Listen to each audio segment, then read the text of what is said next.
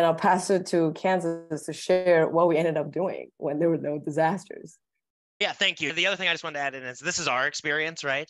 And again, our experiences were specifically with batteries um, and our community and our, as we talked about, our accessing our logistical needs and wants for our community and what that means. Um, but this also applies to again any anything that you may be collectively trying to share in the commons. So the next thing that kind of on our journey that kind of progressed was a lot of talk and discussion also about exploring where the storage and transportation of the batteries would take place and how that would work.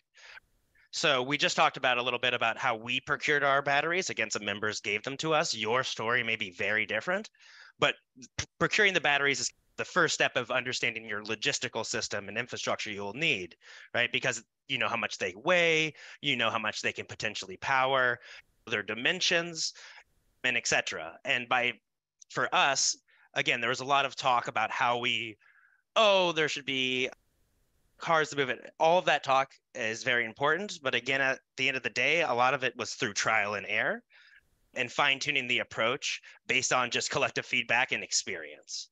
We focused on creating a transport system that was that really embodied distribution, community ownership, eh, but safety and reliability as well.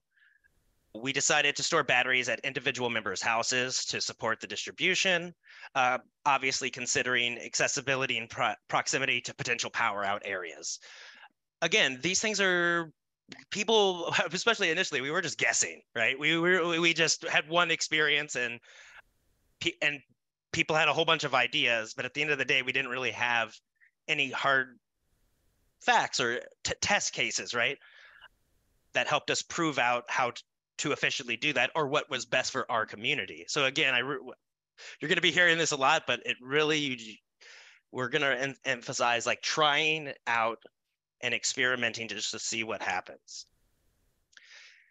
But I, additionally, we also aim to store the battery securely, right? We wanted security and storage to be was also talked about and a concern uh, because we wanted to make sure that it was accessible, not just maybe directly to members, but maybe to friends of members, right? So they know their friend has having experiencing a power outage, right? How would that look and how do things like that play into the storage and even the transportation of the batteries or whatever you're maintaining. So some just key takeaways, right? You're based on what you're trying to store you're, and your community, you're going to have different needs and requirements. The way that you move them are going to have different requirements. Weight, size, right? So in our cases, cars, we use cars mostly because they were big egg crates, they were pretty heavy but that didn't stop people from thinking again this is why having the actual battery is important maybe we could build a cart for bikes and that is all possible. It just depends on what you're working with. Again thinking about what your community's needs are and what the reality of what your community has is super important. And actually i'll pass it back to you chris. Or i guess we'll pause for questions. We'll pause for any questions on just briefly and open it up the space for a second. And I'll, I'll share that one uh, one example story from what Kansas was sharing was actually one of our battery collective members was in a meeting on some co-housing meeting. And then one participant didn't have to have their camera off because their power just went out. So then she was like oh you should we have a battery collective. You should use it. And so she texted one of us and one of us texted another person. And then we another person like said i am i'm able to move the battery but the person has the battery is not there. So then there was like a whole coordination that happened just through a, a bunch of text threads that happened. And i think that actually happened on slack was what we used at one point. But we'll get to that soon. But the idea like that we could just know you have exactly where to move it and how close it is. We can identify where the closest battery was and then who's actually available nearby and and then to move it. It's obviously pretty small scale, but it's a good place for us to start. And yeah, again, the security is tied in there with accessibility, making sure your security and needs and requirements are met as well, right? Because you may want people to have having a padlock accessible right with a code so any member could potentially come and access the battery is important in logistics because you never know who will be available. So considering the security because you want it to be secure but also considering the accessibility is a balancing act. Uh, i wanted to call that out so. Yeah totally. And also i i mentioned in the chat that the power shutoff data was not public and most of the power shutoff was really happening because of they call it the uh, PSPS, like public safety power shut off. We call it profiting shareholder profit power shut off. It's really just a way for them to shut off some convenient substations to to re- reduce the risk of fire. And they did not have that information public at all. So when we decided to move the battery to areas that needed power, and then we just let it sit there. So when the power comes on, they become the charger that, that we call the babysitter of the batteries then we now have the batteries where shutoff tends to happen. So then we're literally moving where the investor-owned utilities were shutting power off when we don't have the, the data. Whereas if we have a centralized place that holds it all the time, you cannot plan for where to go at all. So we're able to just let it move to wherever the shutoff was happening because it was just completely organic and they would just live wherever the people are holding the battery or using the battery lives. So with that, I'll move on to the next stage. As I mentioned, after we figure out the storage and the transportation and all this stuff, we were able to move the batteries a few times, but then there was no disaster at all, which is really great. But at the same time, we're all planning for a major disaster. And so it, w- it was like a huge mismatch, and we didn't know what to do. And now all of our members just sat there waiting for terrible things to happen, which is not good and how do we continue to engage with our members to feel like they're part of something? We we started to ponder how to prioritize our resources during non-emergency time. So for our solution we created a testing brigade to understand battery logistics operations and transportation all the things that kansas mentioned.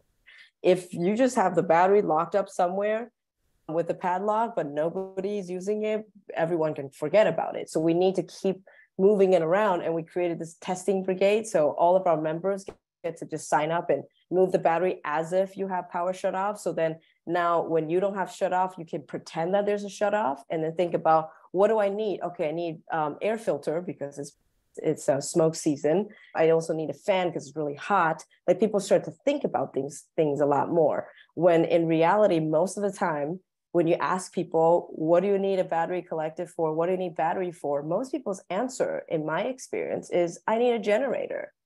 Okay, if I give you a generator, what are you going to power? Uh, a generator? That's generally people's answer. People just cannot think about energy because we just use energy so mindlessly. We don't know, like when the power goes out, this is what we need until you have a battery at home and you pretend that there's no power and you can start plugging things in. And as Kansas mentioned uh, on the podcast, like he tried it out and realized, oh no, I can't use a water heater for the battery. Like it was a great experience for us to actually practice in our body to know, oh, when power shut off happens, I shouldn't be drinking coffee. I think we shared this earlier.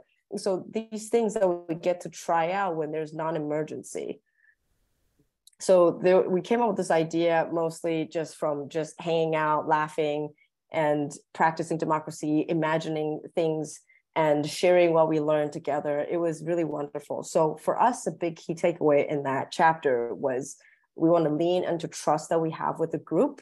And one big thing was there was a huge voice in that group was like, no, we cannot, we have to prioritize the batteries for medical use only and for people who have serious needs. And we focus so much on these prioritization because we're getting ready for a massive disaster.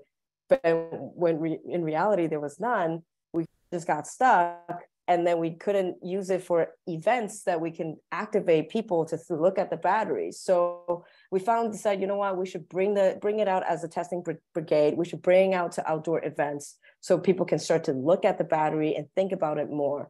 So a big key takeaway for us was really trying not to get bogged down by the obsession with setting up guardrails that some bad actors going to take advantage of the batteries that's something that we experienced was people just really wanted to make sure nobody's going to take advantage of it Nobody's going to prioritize it for catching up on their TV show when somebody needs it for breathing machine. Like we're really hypothetically like thinking about how do we make sure this doesn't happen? And it really feels a lot of trauma reaction. And what we learned to do was to lean into the trust we have for each other. And that's it's easy to say, but it's really hard to get done. But we have to lean in and just encourage the community to say, hey, understand there might be bad actor, but among all of us, can we just agree that we're going to do this for the best of our community so we can start moving the battery, start testing it out, so then we can actually get the stuff out as far as we can and truly leap into the faith into the faith for love and abundance for our community and not be worried that somebody's going to come in and take advantage of things for silly things. So we tried out testing brigade and putting it out on events.